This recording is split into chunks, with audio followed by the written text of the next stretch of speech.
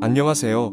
30대 후반 직장인인데요. 손목에 헛 같은 게 볼록 튀어 나와서 병원에 가보니 손목 결절종이라네요. 주사위로 빼내니까 하얀 투명 젤리 같은 게 나오던데 다시 며칠 지나니까 또 올라오더라고요. 그래서 수술을 해야 하나 생각이 드는데 수술을 하게 되면 얼마나 걸리고 꼭 입원을 해야 하는지 궁금합니다. 아 그리고 수술하면 재발은 안 하는지도 궁금합니다. 손목 결절종이라는 병은 결론부터 말씀드리면 반드시 수술을 꼭 해야 되는 병은 아닙니다. 하지만 손목 결절종으로 인해서 미용상 너무 보기 싫어진다든지 이로 인해서 손목을 뒤로 제낄 때 통증이 많이 생기는 경우에는 수술적 치료를 고려하게 되는데요.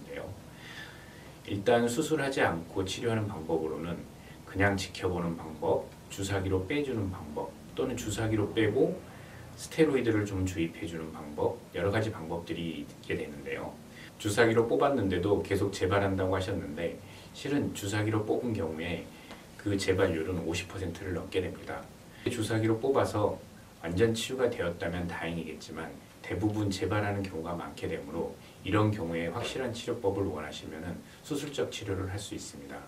수술적 치료는 절개에서 결절종을 완전히 도려내는 방법과 내시경으로 결절종을 없애는 방법이 있는데요.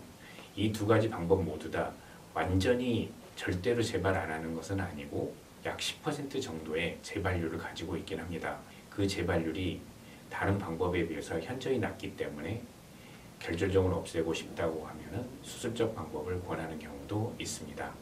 또한 결절종 제거 수술은 비교적 간단한 수술이기 때문에 시간은 오래 걸리지 않으며 대개는 당일 퇴원으로 수술하거나 또는 1박 2일 정도의 간단한 입원으로 치유가 가능하게 됩니다.